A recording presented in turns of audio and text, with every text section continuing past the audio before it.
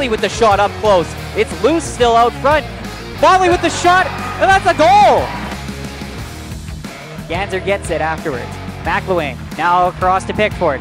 Pickford looks to take shot. McAllister with the shot, and that one goes right in. Now the Oilers and Mason Ganser continues, and he draws a penalty on his own, and they score! Ice to Motley. Now the Ganser. Motley walks in. Shot scores! I think Callan intentionally might have chipped it ahead there. Worked as a dumping attempt, but the Bobcats were able to gather possession. Here's Ganser. He fires it on goal. It's a ground ball and it's in!